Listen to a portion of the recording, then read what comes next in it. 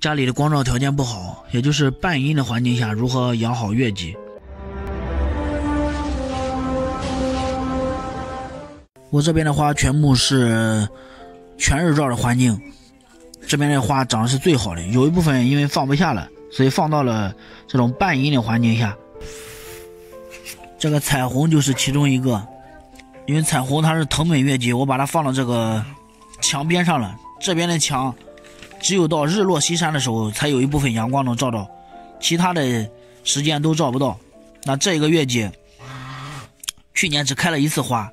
然后后面就没有下文了。因为月季它还是比较喜欢光照的，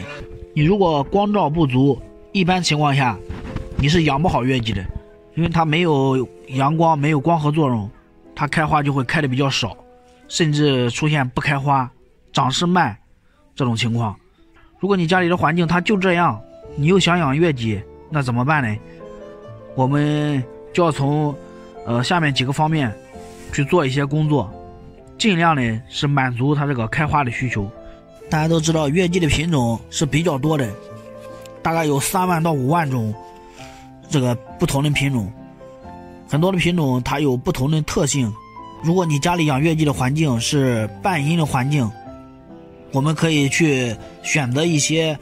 耐阴性比较好的月季品种，比如说黄金庆典、欢笑格鲁吉亚，或者是玛丽玫瑰，这些月季它的这个耐阴性就比较好。如果是家里面这光照时间特别的短，我们可以选择这个绝代佳人或者是高危，这两个品种还是比较耐阴的。除了在这个品种选择上，我们要做一些工作。我们在平常的养护当中也要注意，因为它本身光照就不足，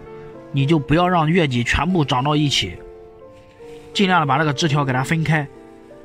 这样底层的这个叶片也能够吸收到阳光。如果这个枝条长得多了，我们可以让它给它往外拉，让枝条全部往外面，就是让它通风好一点，尽量让每一个叶片都能够接受到阳光，这样在仅有的这个。光照条件下，让它产生足够的这个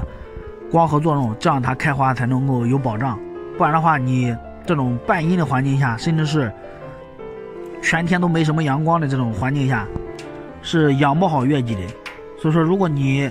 环境不允许，但是你又想养，你只能从这两个方面去